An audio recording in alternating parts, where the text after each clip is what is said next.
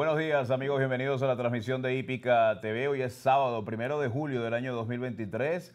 Hoy tendremos eh, acción en dos hipódromos, Laurel Park con 10 competencias, Goffrin Park con 11 competencias. En ambos hipódromos tendremos eh, stakes y bueno, Caribe, hoy estamos cumpliendo 6 años en Hípica TV, anteriormente llamado Goffrin Park en español, así que felicitaciones a todo el grupo, tanto técnico como de talento de nuestro canal. Buenos días, Caribe. Buenos días, Pedro, y gracias a toda esa querida audiencia. Ayer arribamos a 187 mil suscriptores en nuestro canal de YouTube.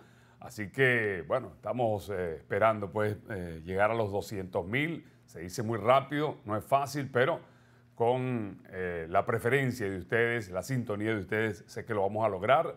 Así que, bueno, gracias por todo ese cariño que siempre nos brindan aquí en Hípica TV y, por supuesto, la sintonía. Hay que decir que ese canal se inició en marzo del 2019, es decir, ya tiene tres años y tantos meses, no tiene, no tiene, los seis años que tenemos nosotros eh, como tal, porque repito, comenzamos como Ghost Sport en español, ahora eh, mutó en el 2019 a Canal Hípica TV, que es donde se transmiten los cuatro hipódromos. Así que agradecidos con todos ustedes, como lo dijo el Caribe, por esas 187 mil personas.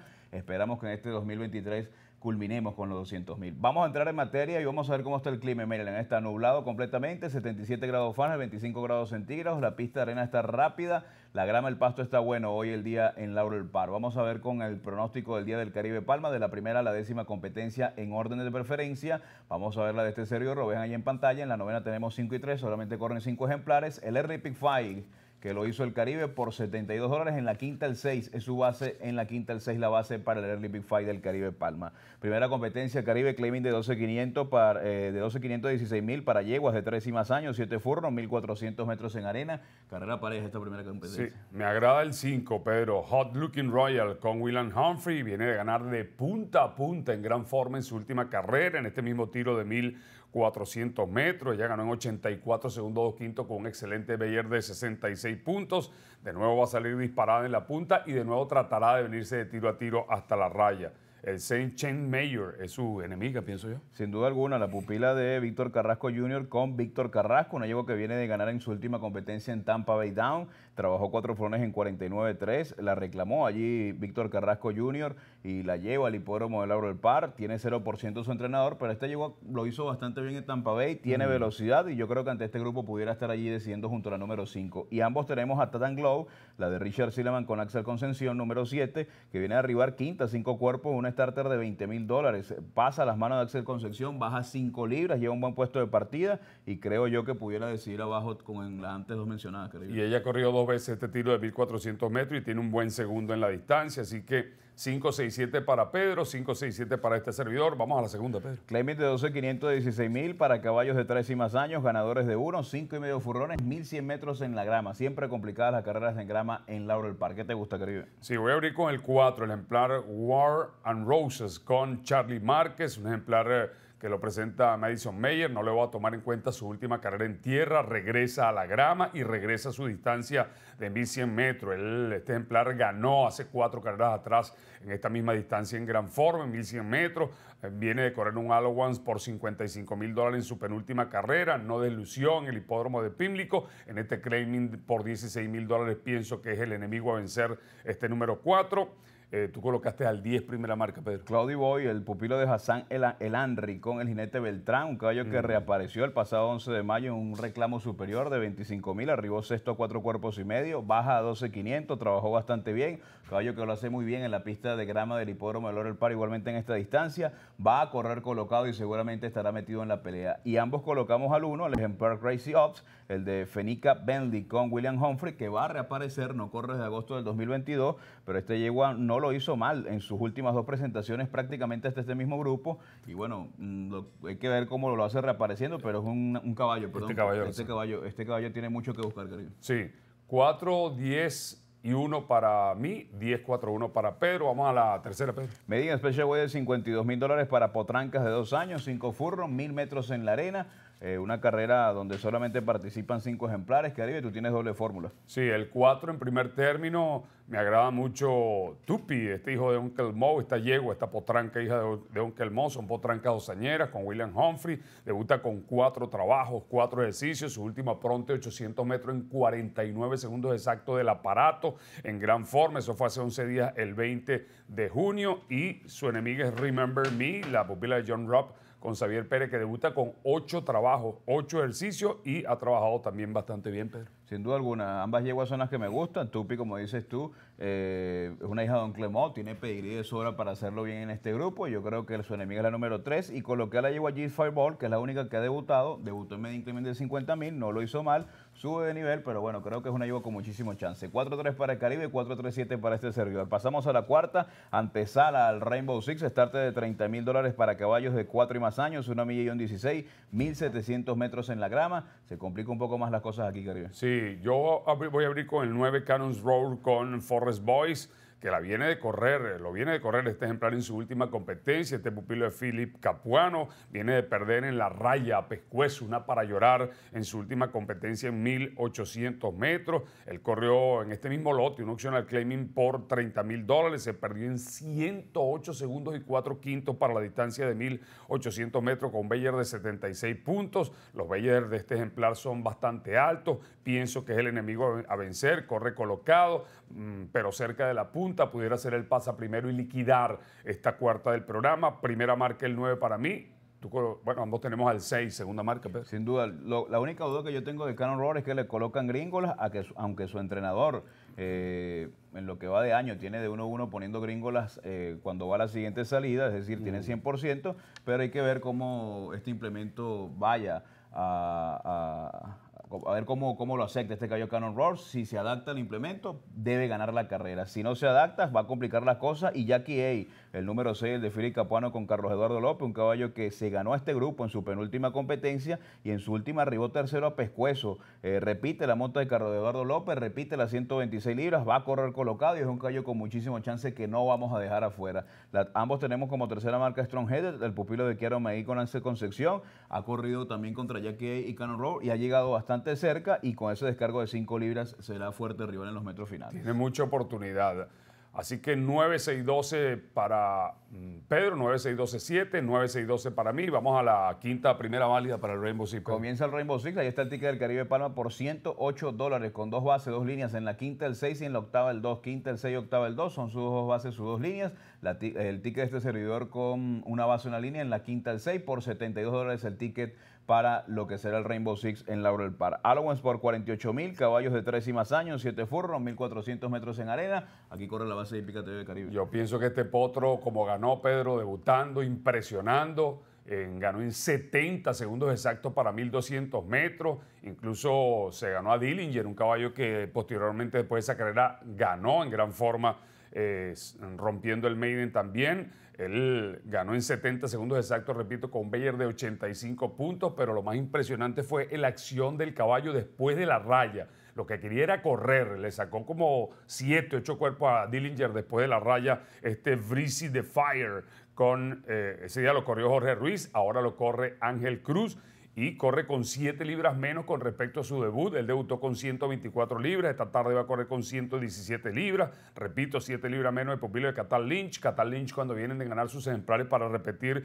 17% de efectividad en victoria en 75 carreras y trabajó precisamente en esta distancia, Pedro, 1400 metros en 87 segundos exactos hace 6 días, el 25 de junio. Yo creo que no hay que inventar aquí de fija y de línea el ejemplar Freezy the Fire número 6 en la quinta del programa. No sé si tú quieres agregar algo. Puedo agregar algo y es que este caballo debutó en un grupo abierto, es decir, corrió contra caballos nacidos y criados en toda la nación. Dillinger es un caballo nacido y criado en Kentucky y él lo revolcó, eh, con palabras coloquiales lo revolcó el día de su debut. Hoy va a correr contra caballos nacidos y criados en Maryland. Como lo dijo el Caribe, un debut impresionante, va a partir en punta y lo que me gusta es el trabajo también, Caribe. 7 furros en 1.27, 1.400 en 87, es decir que prácticamente ya corrió en esta distancia, o sea, ya, ya trabajó en esta distancia y creo que tiene pulmón para ganar de punta a punta nuevamente. No, y él, mostró mucha, mucha calidad. Uno ve la acción de los ejemplares cuando corren, cuando ganan.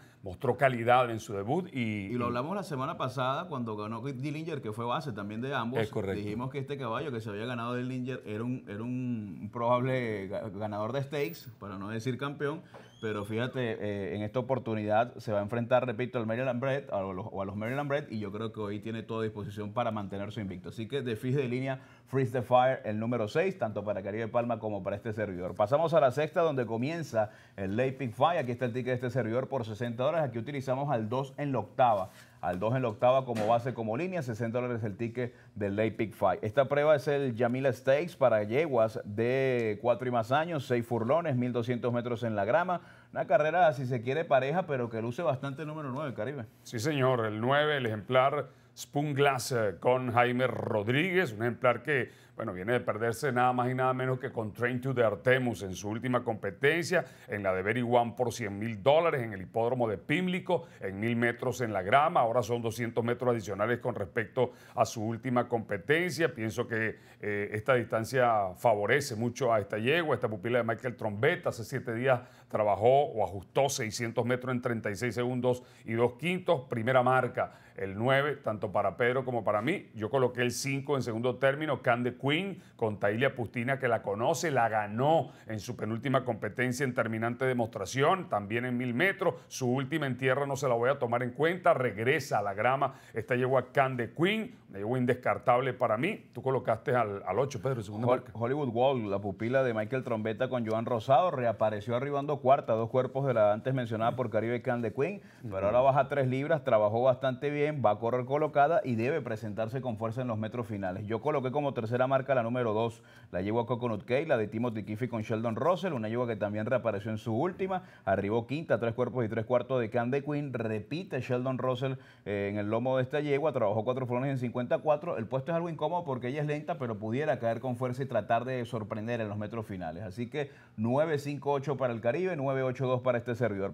les aconsejamos que multipliquen este Jamel Stakes, la sexta de esta tarde en Laurel Park. Vamos a la séptima. Séptima competencia donde comienza el Lake Pick Four. Ahí está el ticket del Caribe Palma con una base una línea en la octava del 2. 45 dólares el ticket para el Caribe Palma en su Lake Pick Four el día de hoy en Laurel Park. Allowance por 70 mil dólares para yeguas de 3 y más años, 6 furros, 1200 metros Caribe en esta competencia. Sí, voy a abrir con el 5, la yegua Princess Cocachín, una yegua que es batalladora, dura, siempre sale a pelear eh, todas las carreras, siempre está ahí decidiendo por el triunfo, por la victoria. Ella ganó de punta a punta en su penúltima competencia en este mismo tiro de 1200 metros, pero en su última, un lote similar, un, eh, lote un poquito más fuerte, un stake por 100 mil dólares, arribó cuarta, bastante cerca, un cuerpo y cuarto de la ganadora. De nuevo va a salir disparada en la punta. Xavier Pérez la conoce a la perfección, corre con una libra menos con respecto a su última y hace seis días trabajó mil metros en 61 segundos y un quinto. Una yegua que se sabe de memoria este tiro, Pedro, de 1200 metros. Tiene cinco victorias en la distancia, un segundo y un tercero en 11 actuaciones. Primera marca el 5 Prince Cocachín, tú colocaste al 6 segunda marca. Así es, la llegó Response Time para completar algo de Prince Cocachín. Bueno, esta yegua regresa al hipódromo donde lo hace mucho mejor. De 14-8 con 3 segundos y un tercero, es decir, 12 mm. competencias en el dinero en 14 carreras que ha corrido. Yo creo que esta yegua debe ser la lógica ganarse. Response Time, su enemiga, la de Hamilton Smith con Jaron Barbosa, viene a arribar segunda, cuatro cuerpos en su última presentación en este mismo grupo reapareciendo. Trabajó 4 furlong en 47-4, siendo el mejor trabajo de 47 la mañana el 25 de junio. Va a correr detrás de Prince Cocachín y es la que se va a presentar con fuerza en la, recta final a ver si puede romper el avance de la delantera, la yegua Prince Cocachín. Y coloqué como tercera marca la número 2, la yegua Street Blue, la de John Roth con Xavier Pérez, una yegua que viene corriendo stakes. En su penúltima se perdió cuerpo y un cuarto de la yegua Princess Cocachín. Va a correr colocada, trabajó bastante bien y creo yo pudiera estar metida en la pelea. A mí me agrada mucho Moody Woman, Pedro, el uno, que una yegua que viene de ganar galopando por más de cuatro cuerpos en su última competencia. Se ganó a Response Time, la número 6, que es una de las principales enemigas a vencer con Jaime Rodríguez, pero este llegó a Moody Woman a pesar de esas tres libras adicionales que va a soportar, va a correr con 126 libras, tiene mucha oportunidad de repetir una carrera pareja, yo no me voy a caer aquí, yo coloqué hasta cinco yeguas, dejé afuera el 3, que bueno, si me gana el 3, bueno, me, me, voy a caer. Nos caemos los Nos caemos, sí. Yo pienso pues que la carrera es para multiplicar también, vamos a la octava. Así es, es el segundo stake de la tarde, el Laurel Dash Stakes para caballos de tres y más años, soy furro 1200 metros en la grama, corre tu base en el Rainbow Six, mi base en el Lake Peak Five, yo coloqué también al 2 como base. Cuéntame de Midday Image. Bueno, una yegua que no hay que hablar mucho.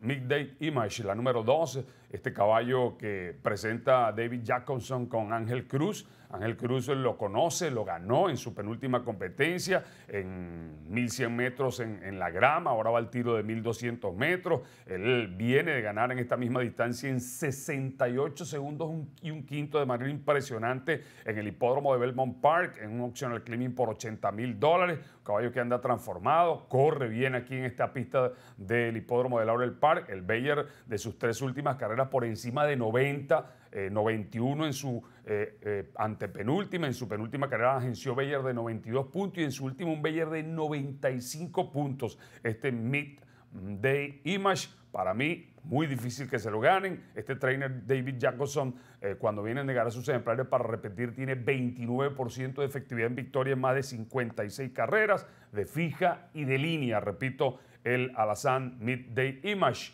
en la octava del programa, el número 2 pienso que tú no mucho, estás de acuerdo. Sí, no mucho que agregar. Un caballo que viene a ganar en Belmont Park un álbum en Social Premium por 80 mil. Mm. Lote, fuerte. Y fue capaz de ganar hasta por dos cuerpos y un cuarto. Era el gran favorito en esa competencia. Regresa a la pista de Laurel Park donde tiene de 1 a 1. Caballo que es versátil. Puede correr en punta, puede correr de menos a más allí cerca de la punta. Y hoy con Ángel Cruz, que ya lo conoce, yo creo que va a ser difícil derrotarlo. Su enemigo el 5, el caballo Smoking Jay, el de Kelsey Daniel con Jevian Toledo. Caballo que viene de correr un Alon en su Optional Claiming por 175 mil en Churchill Down arribó segundo cuerpo y un cuarto, va a correr colocado y pudiera estar metido ya en la pelea junto al 2. Dos fijos para el Caribe, Dos fijos y cinco para este servidor en la octava. Pasamos a la novena de la tarde. Esta prueba es el Concert Stake. Caballos de tres años, siete furros, 1400 metros en la arena, Caribe. Sí, voy a abrir con el 5. Prince of Jericho con Sheldon Russell. Un ejemplar que viene de tremendo segundo en su última competencia. Perdió un cuerpo y tres cuartos en el hipódromo de Pimlico Race Course. Se perdió en 69 segundos y un quinto para la distancia de 1200 metros.